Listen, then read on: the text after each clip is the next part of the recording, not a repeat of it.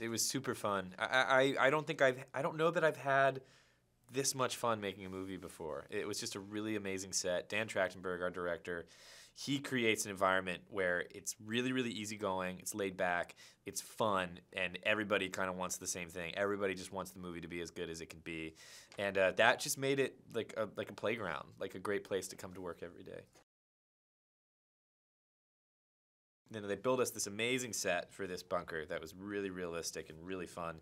It made it very easy to imagine, okay, what would it really be like if we were trapped down here and we were unsure if our host was uh, sane or insane?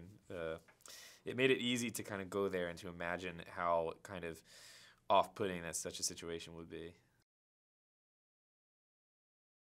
John Goodman is a doomsday prepper in this movie who has built this fallout shelter because he's always been convinced that the, the world's going to end and we're going to need to take shelter down there. So at one uh, time, uh, you know, we need a lot from him because he's saved us in a sense. Uh, but then we start realizing that it, it, might not be a safe environment for us down there in the movie, and we ultimately have to make the decision of whether we want to just stay down there or if we want to try and get out.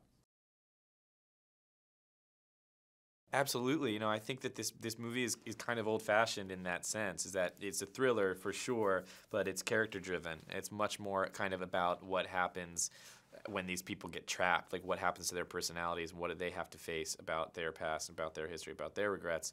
You know, there's a great there's a there's a Hitchcock movie called Lifeboat, which is you know which all takes place on this lifeboat, uh, and at the time was considered really risky. It was like that's boring. Who wants to see a movie about these people? But it's so interesting. It's about you know that kind of isolation, and you know the Thing is one of my favorite you know uh, movies, and that is also is about a group of people trapped and once you start turning on each other in the aftermath, it's like, who are we fighting? You know, I like those kind of movies, and I think this is in that similar vein. I guess maybe just kind of keeping that tension alive, making sure that you were kind of keeping the wire taut as the as the story progressed. But thankfully, we got to shoot it in order, and that made it really easy to kind of chart like, okay, so where is my character at this time? So that was really fun. Under the surface, something is always kind of like bubbling to the top. And so the movie really, it's like every scene serves as kind of just like a ratchet, and the and the tension just gets just like clicked up a notch eh, throughout, like from the beginning until the end.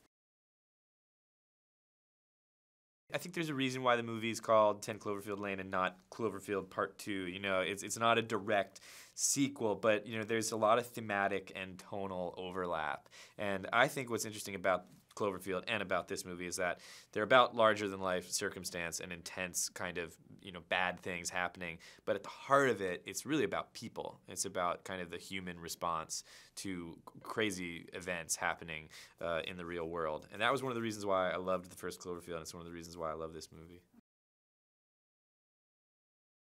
I had just been telling my friends, you know, even when I got cast in it a, a while back, you know, I was like, well, it's just, it's a movie about a young woman who is kind of running away from something in her life, and uh, in that process gets in this car accident and uh, wakes up in a bunker of all places with a guy who says, oh, "I found you on the side of the road, and I brought you down here because just so happens there was this cataclysmic event happening on Earth, and we had to get down here to be safe.